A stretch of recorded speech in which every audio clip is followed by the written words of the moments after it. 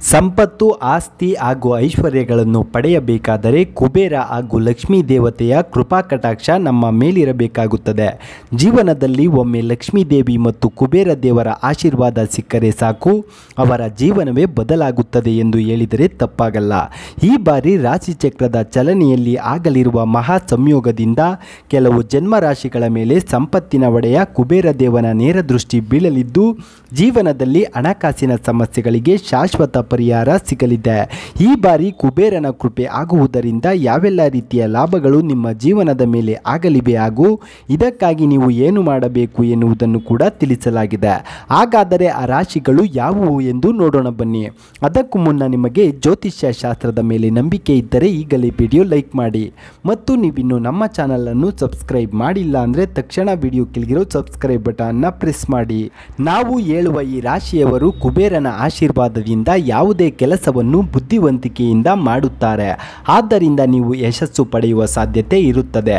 ಯಾವುದೇ ಕೆಲಸವನ್ನು ಮಾಡುವ ಮೊದಲು ಅದರ ಸಂಪೂರ್ಣ ಜ್ಞಾನದಿಂದ ಮುಂದುವರಿಯಲು ಪ್ರಯತ್ನಿಸುತ್ತೀರಿ ಮತ್ತು ನಿಮ್ಮ ಆಲೋಚನೆ ಮತ್ತು ಅರ್ಥ ಮಾಡಿಕೊಳ್ಳುವ ಜೊತೆಗೆ ನಿರ್ಧಾರವನ್ನು ತೆಗೆದುಕೊಳ್ಳುವ ನಿಮ್ಮ ಸಾಮರ್ಥ್ಯವು ಸಹ ಒಳ್ಳೆಯದಾಗಿ ಕಾಣುತ್ತಿದೆ.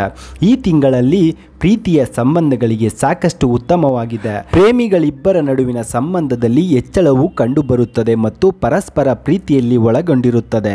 ಜೀವನ ಸಂಗಾತಿಯೊಂದಿಗೆ ಆತ್ಮೀಯ ಸಂಬಂಧವನ್ನು ಇರಿಸಲು ಪ್ರಯತ್ನಿಸಿ, ಇದರಿಂದ ಪರಿಸ್ಥಿತಿಗಳು ಅನುಕೂಲಕರವಾಗಿರುತ್ತದೆ.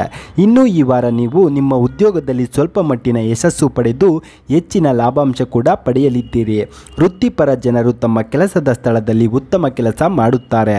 ಇದರಲ್ಲಿ ಅವರು ತಮ್ಮ ಸಕ್ರಿಯ ಎದುರಾಳಿಗಳಿಂದ ಯಶಸ್ಸನ್ನು ಪಡೆಯುವಲ್ಲಿ ಯಶಸ್ವಿಯಾಗುತ್ತಾರೆ. ಈ ಸಮಯದಲ್ಲಿ ನಿಮ್ಮ ಖರ್ಚುಗಳು ಹೆಚ್ಚಾಗಬಹುದು. ಆದ್ದರಿಂದ ಈ ಸಮಯದಲ್ಲಿ ನೀವು ಸ್ವಲ್ಪ ಗಮನ ನೀವು ಯಾವುದೇ ವಿದೇಶ ಪ್ರವಾಸಕ್ಕೆ ಹೋಗುವ ಯೋಗ ಉಂಟಾಗಬಹುದು ಅಥವಾ ನೀವು ಈ ನಿಟ್ಟಿನಲ್ಲಿ ಯೋಜಿಸಬಹುದು. ಕುಬೇರ ದೇವ ಹಾಗೂ ಲಕ್ಷ್ಮೀ ದೇವಿಯ ಆಶೀರ್ವಾದ ಸದಾ ನಿಮ್ಮ ಮೇಲಿರಬೇಕೆಂದರೆ ನೀವು ದುಡಿದ ದುಡ್ಡಿನಲ್ಲಿ ಒಂದಿಷ್ಟು ಭಾಗವನ್ನು ದಾನವಾಗಿ ನೀಡಿ ಮತ್ತು ದಾನ ಮಾಡುವುದರಿಂದ ಲಕ್ಷ್ಮೀ ದೇವಿಯು ಪ್ರಸನ್ನಳಾಗಿ ಮತ್ತಷ್ಟು ಐಶ್ವರ್ಯವನ್ನು ದಯಪಾಲಿಸುತ್ತಾಳೆ. ಮನೆಯಲ್ಲಿನ ಹೆಣ್ಣು ಮಕ್ಕಳನ್ನು ಅತ್ಯಂತ ಗೌರವದಿಂದ ಕಾಣಿ.